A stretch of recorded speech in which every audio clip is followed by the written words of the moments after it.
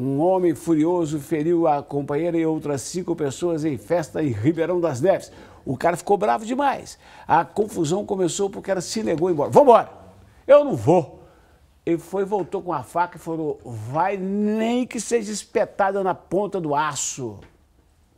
Com a mão machucada, uma das vítimas foi até a delegacia a prestar depoimento. A mulher que não quis se identificar ficou ferida depois de tentar defender a amiga em uma festa que era realizada em Ribeirão das Neves, na Grande BH. A testemunha contou que a confusão começou depois que Elion Jardson Lizardo Rosa, de 32 anos, pediu para que a companheira dele, uma mulher de 40 anos, fosse para casa. Só que ele estava alcoolizado, ela não quis ir com ele, então eu me prontifiquei a levar ela até a casa dela para ela não ir sozinha e ele ficou nervoso com a situação, porque ele queria que de qualquer forma ela fosse com ele. Então, como ele viu que eu estava tentando ajudar ela e impedir que ela fosse com ele, ele ficou bravo comigo, me deu uma garrafada na cabeça e depois que ele quebrou a garrafa na minha cabeça, ele tentou me acertar no rosto ou no pescoço, não sei, acho que então por isso ele acabou acertando a minha mão. Além dela, outras cinco pessoas ficaram feridas e precisaram de atendimento médico.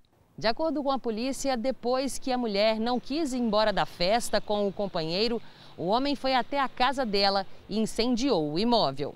Chegou na residência dele, né, do, do casal, onde se encontravam as duas enteadas dele, uma de 14 e outra de 17 anos. Ele pediu que as duas enteadas saíssem da residência e ateou fogo na residência. Não satisfeito, o homem voltou para a festa, armado com uma faca, atrás da mulher. Foi passado que o Elion, que é o autor, tinha desferido quatro facadas em sua companheira.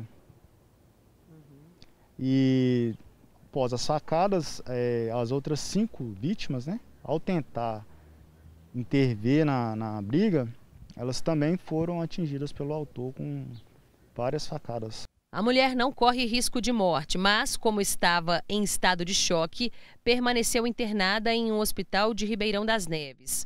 O homem, que não tinha passagens pela polícia, também ficou ferido, foi medicado e acabou preso em flagrante. Ele foi levado para a delegacia de plantão do município.